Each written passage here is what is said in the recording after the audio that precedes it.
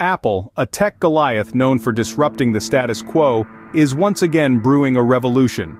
The secret? Home robots.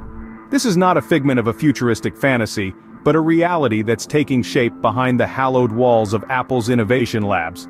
Building upon the legacy of its trailblazing products, Apple is now venturing into the realm of home robotics. This move comes in the wake of the company's decision to discontinue its self-driving car project. It appears that Apple's engineers have taken a detour from the highways and are now focusing on the corridors of our homes.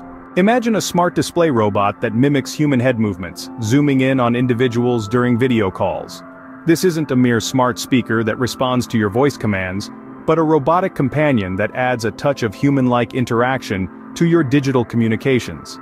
This endeavor by Apple is not without its share of challenges. Internal disagreements, declining iPhone sales, and legal issues have painted a daunting backdrop. Yet, the tech titan is pushing ahead, undeterred. The departure of key personnel has not stalled the project, but has instead led to a shift in focus. From automotive to domestic, Apple's robotics efforts are adapting and evolving. The feasibility of these home robots reaching consumers remains shrouded in uncertainty. However, this has not deterred Apple from repurposing technology from its car project for this new pursuit. This move into home robotics is a testament to Apple's relentless drive to regain its innovative edge in the market.